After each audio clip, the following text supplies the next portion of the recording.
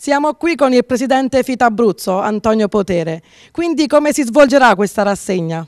Allora, la rassegna si svolgerà con otto compagnie che partecipano al concorso e aprirà il giorno 27 ottobre la compagnia Teatro Ensemble che presenterà la, com la commedia Nagati in Rocchetti.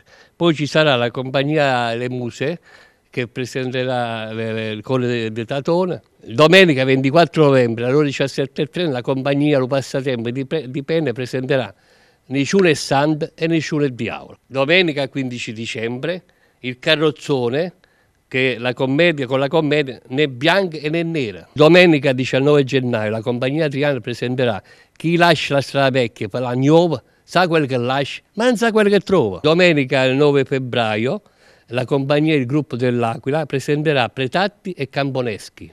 Domenica 15 marzo ci sarà l'ultima compagnia in concorso che sono i giovani amici del teatro di Pescara che presentano la commedia Basta che sta buona la mamma.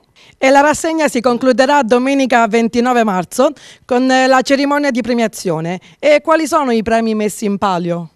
Ci saranno due giurie, una della giuria degli abbonati e una giuria tecnica. La giuria degli abbonati darà, darà, il premio come migliore compagnia e la giuria tecnica che darà il premio come migliore compagnia, migliore attore, migliore attrice, migliore attore caratteristica, migliore attrice caratteristica, migliore regia e poi ci saranno altri premi, saranno altri 4-5 premi, non sto qui a dire tutti i premi.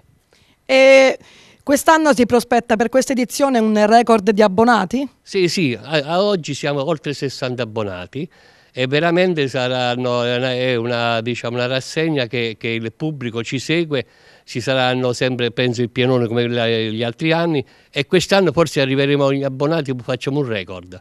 E, e voglio poi ringraziare per tutto l'aiuto che ci dà, la disponibilità eh, che, di Roberto Palone che veramente ci sta vicino e che ci ha dato l'esperienza del teatro e tutti devo proprio ringraziare di cuore.